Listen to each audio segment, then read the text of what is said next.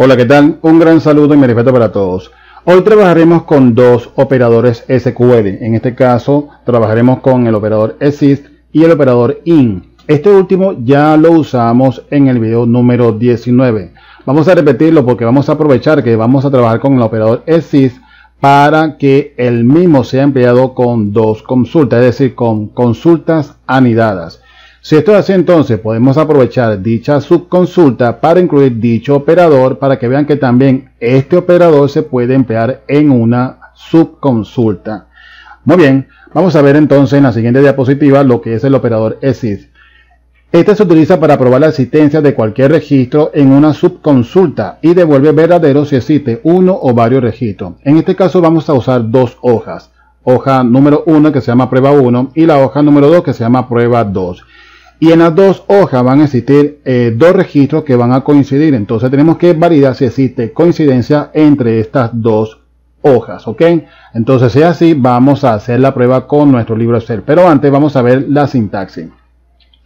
Vamos a colocar la palabra reservada select. A continuación vamos a colocar la letra A. Esto porque estamos colocándole a la tabla un alias para poder entonces identificar la tabla para diferenciarla con la otra tabla. En este caso, cuando estamos trabajando con la subconsulta. ¿Y que vamos a, colocar? El campo deseado para nuestra consulta. Vamos a especificar de dónde vamos a obtener la información. En este caso, repito, el nombre de la tabla o bien la hoja, dado que estamos trabajando con Excel. A continuación, colocamos la cláusula where para luego entonces con el operador exist validar si existe coincidencia en la subconsulta, en este caso la consulta que tenemos anidada. Si existen coincidencias, entonces vamos a mostrar el resultado. Noten que estoy colocando la tabla secundaria con la letra B. Esta sería su alias. Y voy a hacer la comparación con la cláusula where para comparar el alias de la tabla, seguidamente del campo, para compararlo con el alias de la tabla principal con su respectivo campo. Si hay coincidencia, repito, se mostrará el resultado. Muy bien, vamos a abrir nuestro libro Excel y lo tenemos justo por acá y vamos a seleccionar la hoja prueba 1 y prueba 2. Noten que hay una coincidencia entre estas dos. Aunque hay registros que difieren entre sí, hay coincidencias entre dos registros. En este caso vamos a ver que es José y Gustavo. Muy bien, estos dos coinciden. Entonces yo quiero hacer la consulta para que eh, me muestre el resultado en la hoja que hemos destinado para los reportes con estos dos registros que coinciden entre estas dos tablas o bien dos hojas. ¿Ok? Entonces vamos a dirigirnos a la hoja menú, programador, ficha programador y ahora en nuestra instrucción CL vamos a asignar a la variable CL nuestra instrucción CL. Veamos la sintaxis, vamos a seleccionar una vez más nuestra diapositiva, vamos a colocar CL seguidamente de la columna con el alias de acuerdo al nombre del alias asignado a la tabla. Muy bien. Y luego entonces vamos a, a colocar la cláusula web y el operador exit. Muy bien, vamos a hacer entonces. Colocamos CL a punto nombre. Esto igual a decir así. From, colocamos el nombre de la hoja o bien la tabla, prueba 1, y colocamos el alias de la tabla o de la hoja. Si ya sabemos entonces el nombre de la tabla, es decir, el alias que le hemos asignado a la tabla, entonces vamos a colocar a punto y el nombre de la columna o campo. En este caso vamos a usar, vamos a seleccionar prueba 1, nombre. Será el nombre del campo que vamos a emplear. Perfecto. Ahora, ¿qué vamos a hacer? Ya tenemos entonces cla.nombre from prueba 1 con su eh, alias. Ahora vamos a hacer la comparación y vamos a indicarle where nuestro operador exist y a continuación vamos a colocar un salto de línea para colocar entre paréntesis la subconsulta y vamos a decir cl cl en este caso from tabla número 2 prueba 2 finalizamos con el símbolo y le colocamos su alias. Y a continuación por acá vamos a decir b.nombre como nombre de campo de la consulta. ¿Y qué vamos a hacer? Where, incluyendo nuestra cláusula where, a.nombre será igual a b.nombre. ¿Ok? Si esto es correcto, si existe coincidencia, es decir, si existe registro que coincida con la primera consulta, entonces que me muestre el resultado. Para ello entonces hemos destinado la hoja 4 para los reportes. Perfecto, si esto es así, vamos a ver entonces qué tal funciona. Vamos a comprobar si no hay un error y si existe algún error lo vamos a corregir. Para eso estamos. Perfecto. Por el momento no vemos ningún error, vamos a ejecutar la consulta. Recuerden, tenemos dos coincidencias, José y Gustavo, y vamos a mostrar el resultado en la hoja que hemos destinado, reporte. Ejecutamos nuestra consulta y a la primera vemos el resultado. Vemos José y Gustavo, respectivamente. Claro, aquí vemos una separación, esto porque existen separaciones entre los campos de cada una de las hojas. Vamos a hacer que no exista esa separación. Vamos a nuestra hoja reporte, regresamos y vamos a colocar una segunda condición.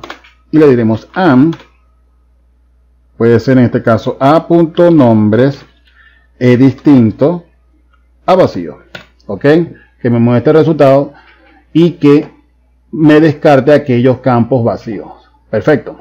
Ejecutamos una vez más. Aquí vemos entonces un error. Ah, ah, claro coloqué nombres con S. Ejecutamos una vez más y listo, ya tenemos nuestro resultado. José y Gustavo. Esto coincide entonces con lo que tenemos en prueba 1 y prueba 2. José y Gustavo. ¿Qué tal si colocamos Ramón? También lo colocamos justo por acá, Ramón. Perfecto. Y como color de fondo, rojo. También por acá rojo. En negritas y por acá también en negritas. Veamos si se muestran tres registros, tres coincidencias. Ejecutamos una vez más. Ahora tenemos Ramón, José y Gustavo. Perfecto. Regresamos. ¿Recuerdan el operador IN? Veamos.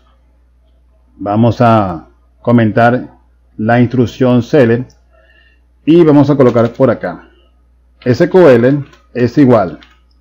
Select nombres from. Y vamos a colocar la hoja llamada clientes. Clientes. Where a nombres. En este caso yo quiero que me haga lo siguiente. En la hoja cliente tengo varios nombres. Manuel, Ecosel, García, YouTube y así sucesivamente. Yo quiero que en mi consulta me haga una consulta comparando varios criterios. Yo quiero que sean varios criterios. En vez de ser uno, que sean varios. Puede ser Ecosel, también puede ser Google, puede ser también María. Vamos a hacer la consulta iniciando con el primero. Where en este caso estoy colocando el nombre del campo con el cual vamos a hacer la comparación y le vamos a decir con el operador in entre paréntesis que me haga la consulta de acuerdo a este criterio. En este caso le digo eco excel, que me muestre eco excel. Minimizamos, menú, ejecutamos la consulta y aquí me dice que hay un error.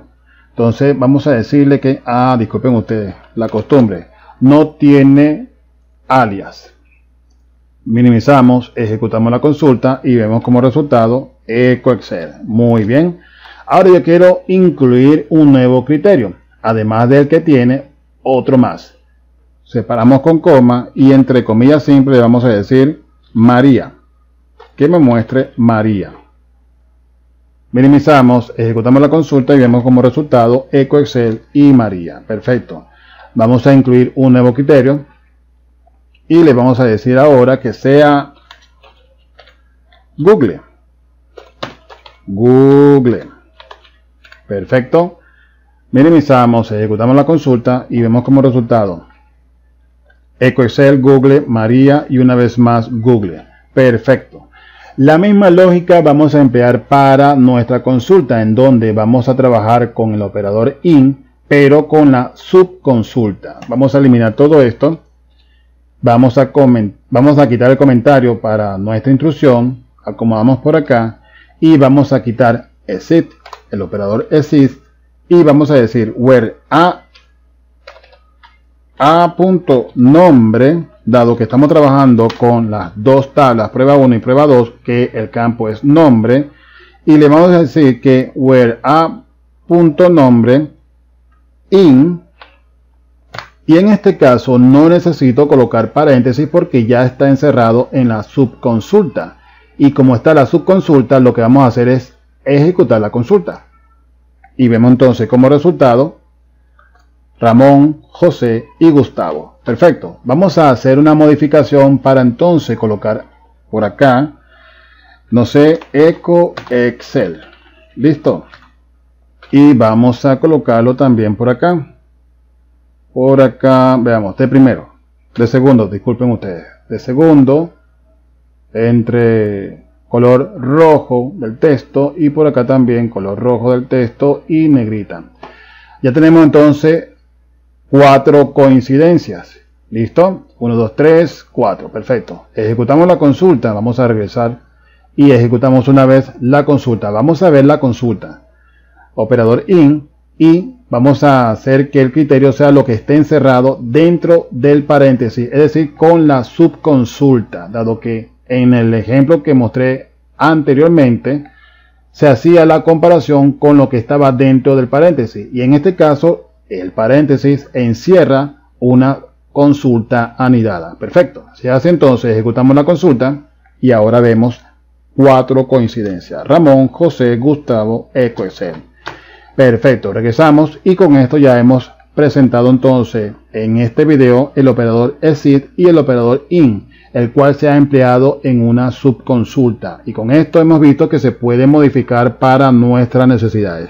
Muy bien, espero entonces que este video sea de su agrado, como siempre un placer, y nos vemos en una próxima oportunidad. Hasta entonces.